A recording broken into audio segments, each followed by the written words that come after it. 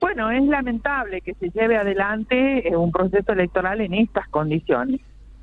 Ahora, si no vota un 20% del padrón, estamos más o menos en los estándares normales, generalmente concurre entre el 75 y el 80% del padrón.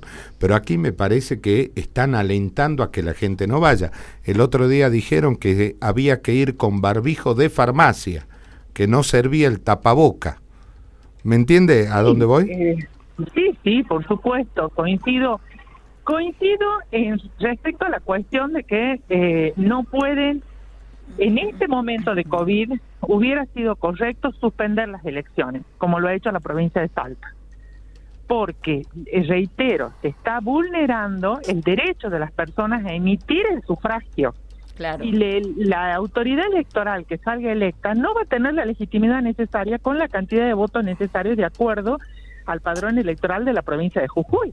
Claro, porque en el padrón hay un universo de ciudadanos activos y si no llegan a votar, digamos, porque a lo mejor tienen 37,9 de, de temperatura y no les permiten votar, ¿qué pasa con ese derecho a emitir el voto? Es está en el padrón, está en el padrón y en la Constitución no dice que por el COVID no puedan votar.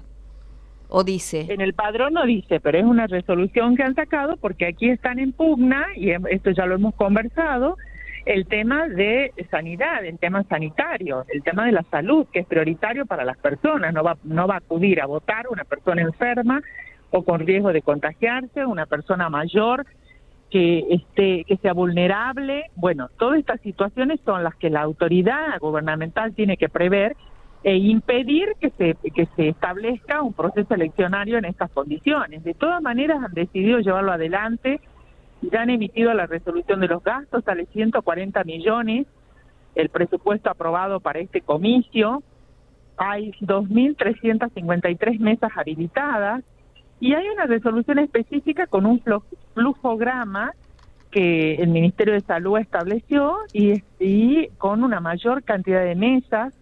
Las autoridades de mesa, por ejemplo, tienen que votar en el tienen que votar en el lugar donde están empadronadas lo mismo los fiscales generales, sí se permitió que los fiscales supervisen las mesas de toda la provincia, los fiscales generales y el personal policial igual.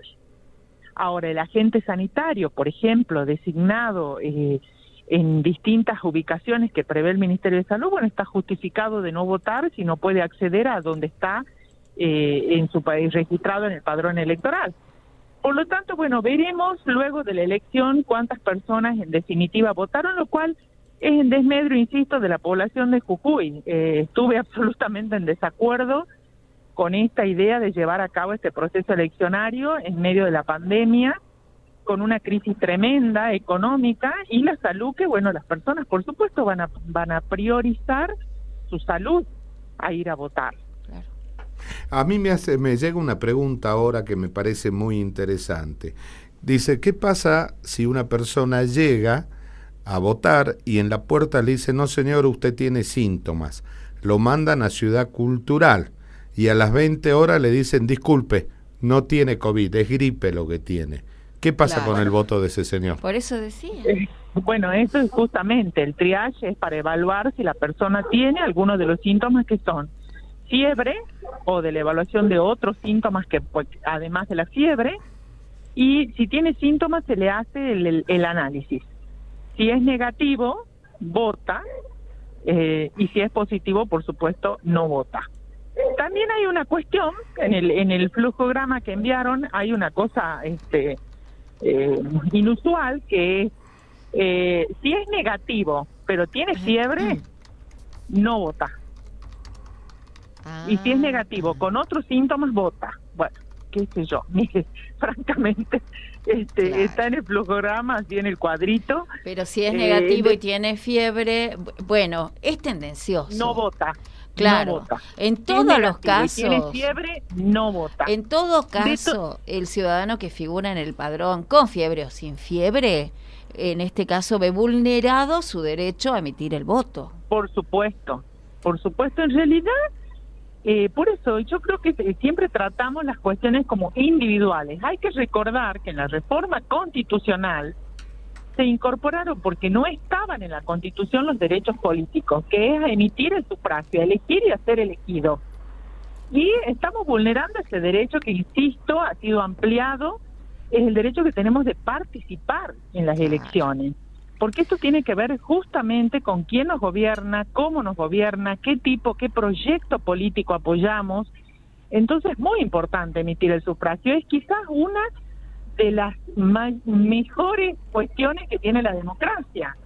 Y que nosotros acá en Jujuy, por motivos obviamente prioritarios como es la salud de la población, no hay muchas personas que no lo van a poder hacer. Insisto que todas estas personas que por día salen en cantidad de contagios COVID no pueden acudir a las unas el día domingo. Claro, están las personas a las que los hisoparon y les dio positivo, más toda su familia que está lógicamente cumpliendo